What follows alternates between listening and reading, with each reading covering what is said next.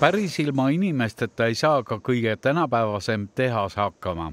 ehkki nüüd on metallitööliste asemel pinkide operaatorid.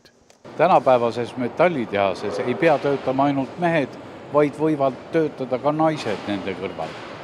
eks ta on tegelikult on päris keeruline sellist äh, oskustöölist leida, et äh, pigem leiame särasilmseid, kes soovivad teha ja siis koolitame. Lagedi tehas on tänu uutele masinatele kiire reageerima turusoovidele.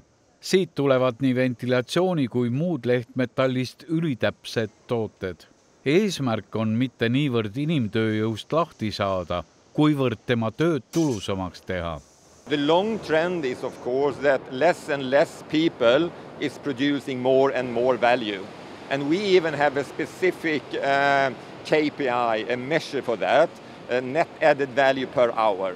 And that is, of course, uh, really important that the net added value per, per employed hour is increasing. It doesn't have to be dramatically, but over time we have to be more and more efficient.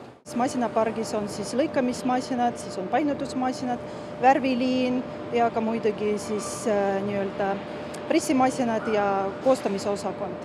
meil sai soetatud eelmine aasta siis neli uut masinat ja selle investeeringu suurus on olnud üle kahe miljoni eurot. Lagedi tehases on esimest korda kasutusel ka tehisaru. see püüab robotkäe tegevusi optimeerida ja on mitmeid kordi kiirem kui inimene. ainuke, mida inimesel teha tuleb, on talle toormaterjal ette anda.